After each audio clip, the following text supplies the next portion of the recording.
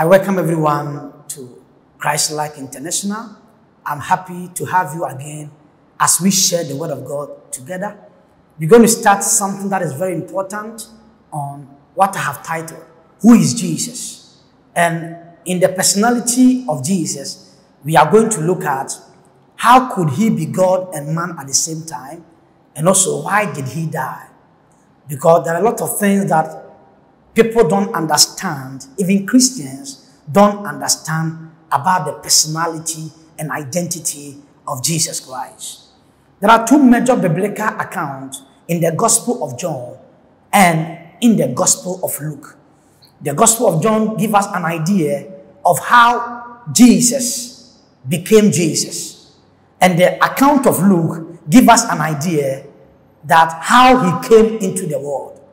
Now, in John chapter number 1, verse 1 to 5, John said, In the beginning was the Word, and the Word was with God, and the Word was God. So, John is saying that in the beginning of time was the Word, and the Word was with God, and the Word was God. So, he's saying that in the beginning was Word, was the Word of God.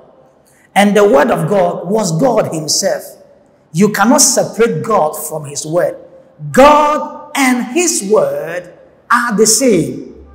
God and his word are the same. So he said, in the beginning was the word, and the word was with God, and the word was God. So here we see in the beginning was the word, the word was with God. So we see two personalities the Word, God, the Word was with God, the Word was God. So the two personality became one. The Word that was with God, the Word that was God, the Word was God. Then he said, that was with God in the beginning. The same was with God in the beginning. In other words, it has always been with God, it is with God, and it is always with God. And the same was with God in the beginning. So we have seen that the Word is God. So John is establishing that the Word of God is God Himself. So when God gives you His Word, God is giving you Himself. God is giving you Himself. When God speak His Word to you, God is speaking Himself into you. So he said, the same was with God in the beginning. Then he said, and all things were made by him. It means that the word that was with God, the word that was God, the word that is God, the word that the same was with God in the beginning, he said, all things were made by him. All things we see, all things that are visible and invisible, he said, they were made by the word that was with God, by the word that was God. It means that everything was made by his word. Everything was made by the word of God. Then he said, All things were made by him. And without him was not anything made that was made. It means that without God's word, God cannot make anything. God can do nothing without His Word. It means that the working ability of God is in His Word. Do you want to know the ability of God? The ability of God can be expressed in His Word. So everything we see in creation, everything we see God, the, the creation of Adam and Eve, the, the mountains that we see, the skies, and all the natural things we see that are beautiful. The Bible is telling us that the source of this creation is the Word of God. He said, All things were made by Him. He means that the Word has a personality. He said, Without Him was not anything made that was made. Then He said, In Him was life and the life was the light of men. It means that the word of God has the life of God. The word of God has the substance of God. The word of God contains the characteristics of God. The word of God has the essence of God. In him was life, and the life was the light of men. And the light shines in darkness, and the darkness comprehended it not. It means that darkness could not absorb the power of the light that came out of the life of the word. So he's talking about the personality of the word, the characteristics of the word, the pedigree of the word. That the word was with God. The word was God. The same was with God in the beginning. All things were made by him. Without him was not anything made that was made. In the word is the life of God. The word is the light of man. And the light shines in darkness. And the darkness comprehended it not. So John give us the pedigree, the integrity, the reliability the power and the personality because God's word has always been with God. God's word has always been in God. God's word has always been his mind. God's word has always been the expression of the personality of God. When God wants to express his personality, he expressed his personality through the force of his word. Now, when we read from, when, when we jump from uh, to verse number 10, John chapter 1, verse number 10 to 14, John said that, and he came into the world, and the world knew him not.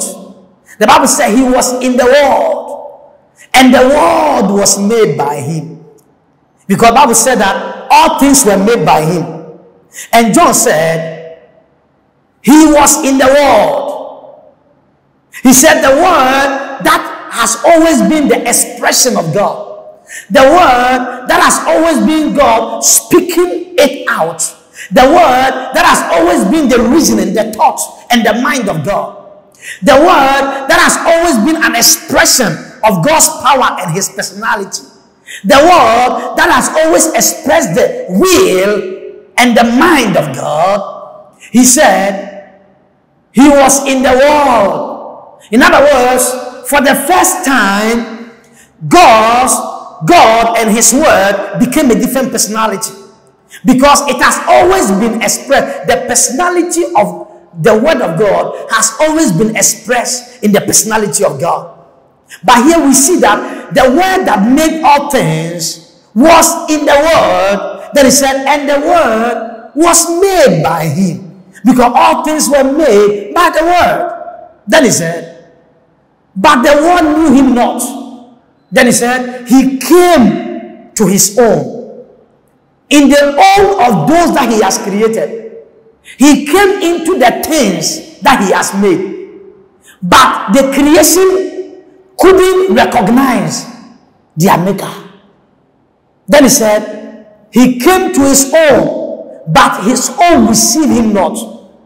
But as many that received him from verse 12, to them gave him power to become the sons of God, even to them that believe on his name. Verse 13, which were born not of blood, nor the will of the flesh, nor the will of man, but of God. Now the verse 14 is the big deal.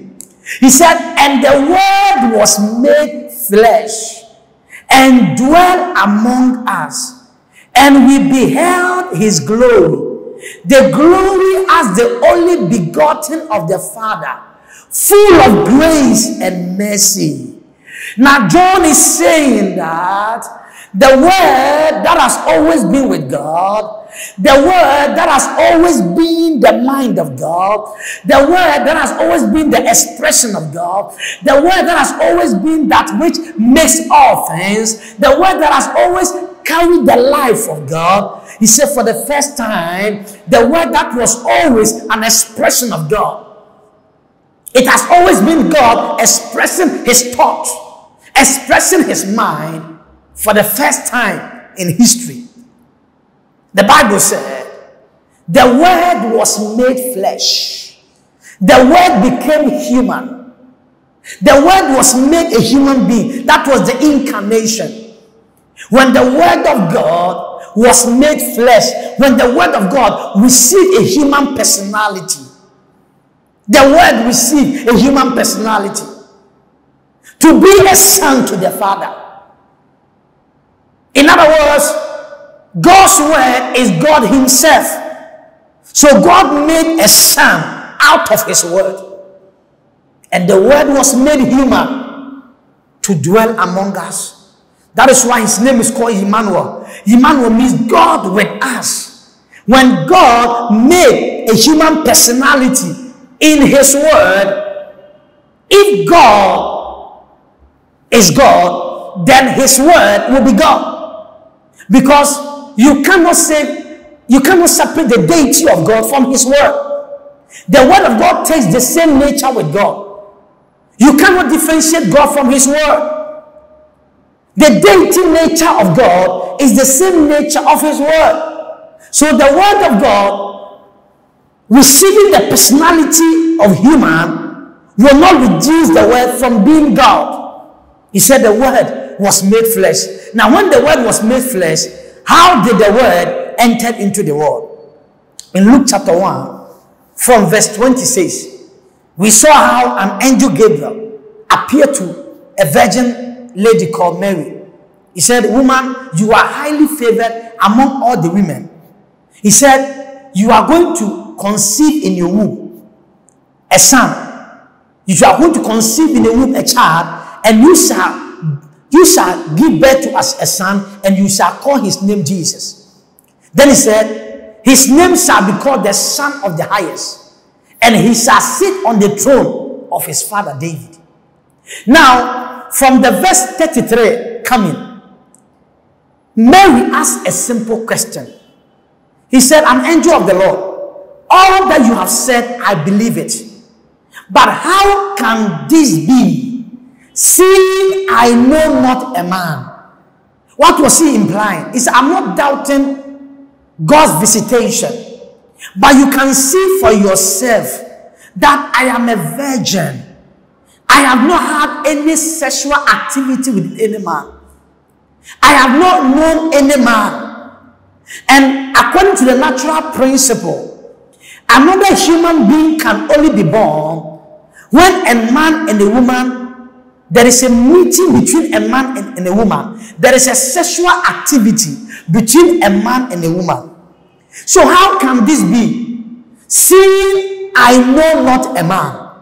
Then the angel said, Don't worry. This word that has come unto you is a seed from God. The Holy Ghost shall come upon you, and the power of the highest shall overshadow you. And that holy thing in you shall be called the Son of God. Now, John, in his account, is telling us what our eye couldn't see. That the word of God was made flesh. And we saw a woman receiving that word, and the word of God was sown as a seed in the womb of a woman. And through the power of the Holy Spirit, the word took on the body of a human being. So Jesus was the word of God that took the human flesh he was the word of God in the human body. Even though he was born in the human body, he still carries the life of God. Because Jesus couldn't have had the nature of sin. He couldn't have had the nature of Adam because the seed of his birth was the word of God. So we see a word of God that is divine. God releasing that word into a wolf woman and through the womb of the woman, the word took on the human body and was born as the Son of God. So that word that Mary received, John gave us the pedigree of the word. He gave us that ability of God that was made flesh. And how? Through the womb of Mary, the word was incarnated. The word was made a human and live among men. So with these two accounts, we now have an idea the composition of Jesus Christ. Now, for we to be able to understand the full personality of Christ, there are three key elements that we need to understand when it comes to the personality of Christ. Three key elements. We will sign with these three key elements and we will continue from there. There are three key elements we need to understand when it comes to the personality of Christ. Number one, the first element is Jesus as the divine Son of God. Like we saw in John account, John is given an account that it was God who made a son out of his word. God made a son out of his word. And that son was made to live among man in a human body. So, for you to understand the personality of Christ, the first key element that we're going to deal with is that Jesus as the divine Son of God. The second key element that we need to understand in the personality of Christ is that Jesus as the fulfillment of the ancient biblical prophecies. Before the word of God was made a human, which was 100% man but 100% God, there were numerous prophecies from Genesis up to the time he came. There were a lot of prophecies about how the Lord Christ is going to be born. So, the second key element we need to understand about the personality of Christ is that Jesus Christ, as the fulfillment of the ancient biblical prophecies. Now, the third element we need to understand, if we can understand the personality of Christ, is Jesus as the promised Savior of the world. Jesus as the promised Savior of the world.